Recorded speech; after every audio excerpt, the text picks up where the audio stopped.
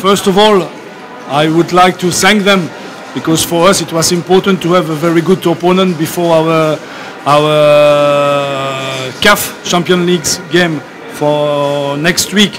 So thank you for, for, for coming and we had a good uh, a good opponent today. So it's uh, it's important because you know that uh, we will not have uh, one game anymore and in, in five days we will be busy with this uh, preliminary round of uh, of the CAF Champions League. So it was important for us to have a good opposition and we did it today.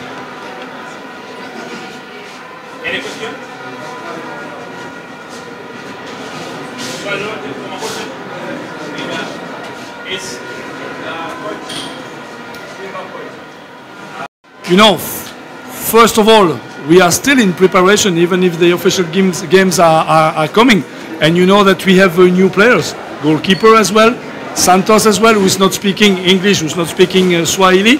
So you are right. Maybe it was a problem of, uh, of, of communication. But anyway, you know, they had two crosses and we were in trouble on, on two crosses. Otherwise, we had the control of, of, of the game. So we will have to work on that because we will uh, face the same, uh, the same things in, uh, in, uh, in Mozambique.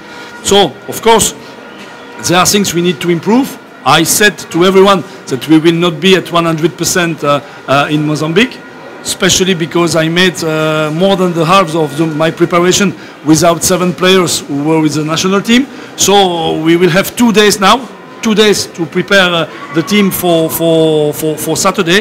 But I think that the new players today shows that they have skills and uh, that we will have maybe a, a team more I will say homogene. I don't know. Homogene is in French. I don't know if in English you understand. But a, a team who are more, more structured and more balanced than last year.